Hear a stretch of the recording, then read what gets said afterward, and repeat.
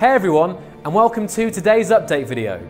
The update itself contains more important bug fixes and improvements, but we've also got another Space Engineers developer diary to show you. So now, I'm going to hand over to level designer Jochem to talk about what he's been doing recently and how designers are utilizing the upcoming visual scripting tool.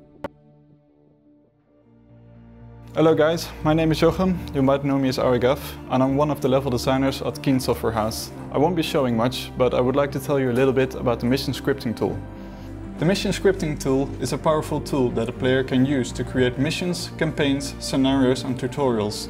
We're able to create better controlled environments for the players and enable us to inform the player of his goals without the use of text panels.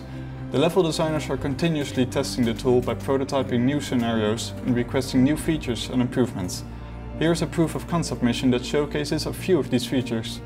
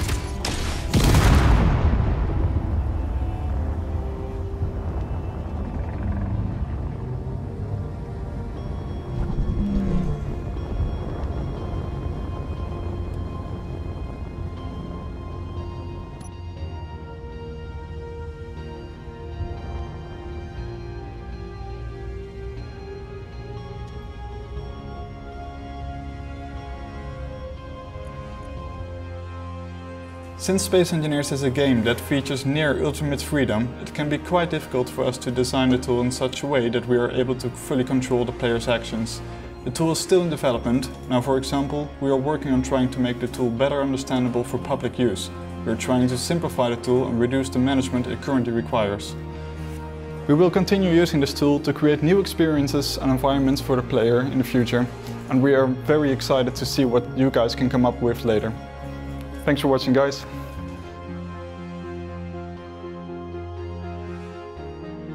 This new tool has a lot of potential and I think that the community will be able to create some amazing scenarios when it releases.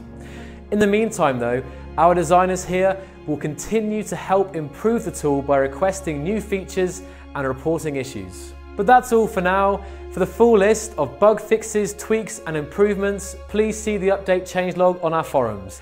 I'd like to thank you for tuning in. I'll see you all next week, and here's a quote to end on. The most important thing is to keep the most important thing the most important thing.